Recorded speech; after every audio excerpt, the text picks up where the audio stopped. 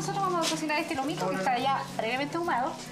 Lo vamos a cocinar al vino blanco, ¿ya? Con piñones. Pero a Con la vez va a ser acompañado con un rico mote, trigo mote, con hongos.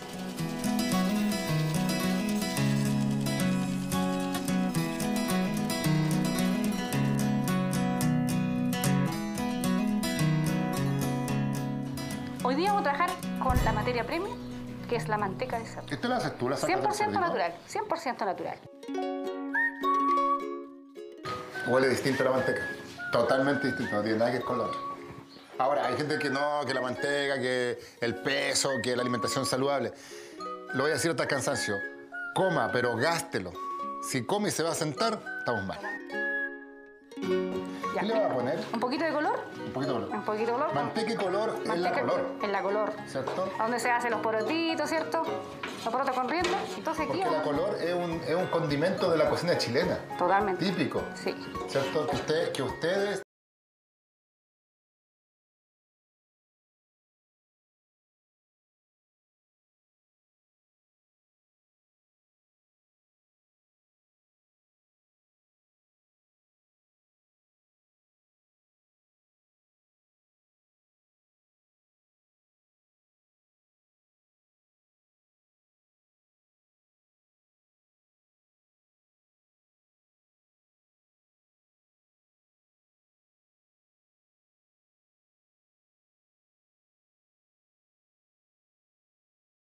Avanzando la, la cocción, va saliendo más aroma, ¿cierto? Sí, aparecen al tiro los aromas de, bueno, el humo, el condimento, que está bien asentadito ya. Mira, ahora le vamos a poner las longanizas. Estas son las verdaderas longanizas Kimbay, ¿ves? Esas son las que ahumaste, ¿verdad? Sí, Tenían dos días de que ahumado. Sí. Tiene buena humedad después de dos días de ahumado. Todavía tiene muy buena humedad. Esto lo dejamos aquí un rato tapado Dejamos tapadito un ratito.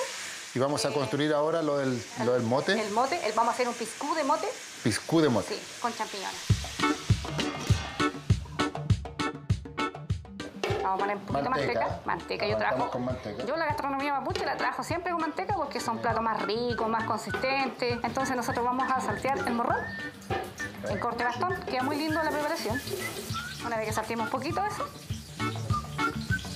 le vamos a agregar el puerro. Es súper rica la preparación con puerro. El morrón rojo. Por la cantidad de potasio que posee, ayuda a prevenir el cáncer prostáticos en varones. Aquí no solamente es cocina, es conocimiento y también medicina ancestral. Vamos a empezar al tiro por. Por el tema de... es como decimos nosotros mapuche, nos alimentamos y nos sanamos a la vez. Aquí tenemos el trigo mote. Y que ¿Está pelado con ceniza? Con ceniza.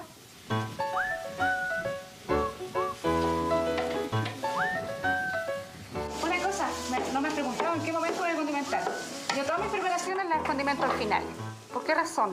Porque más de algún producto de eso ya tiene suficiente sodio. Aloncito, Norma, cómo está esto. está espectacular. Ahora le vamos a agregar nosotros los piñones, ¿ya?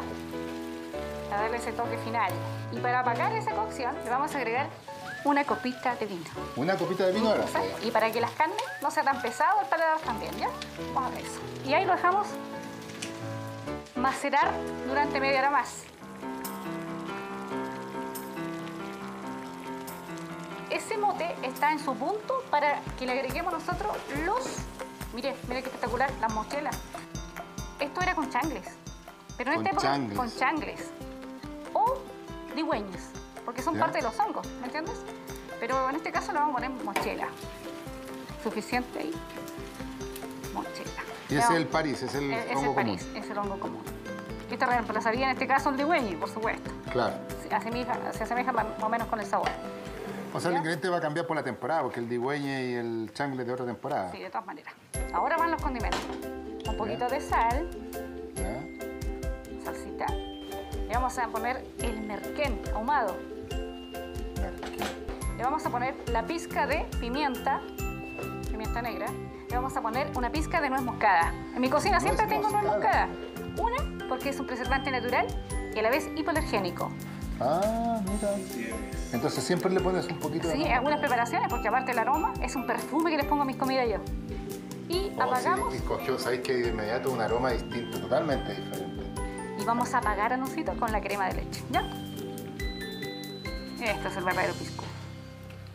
Y ahí dejamos a fuego lento que repose nomás. Revuelvo y dejo, y dejo Y, y tranquilo. deja